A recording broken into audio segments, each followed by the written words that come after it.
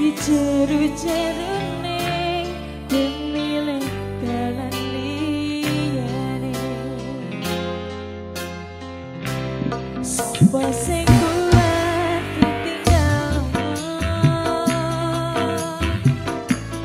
Sopo sing ati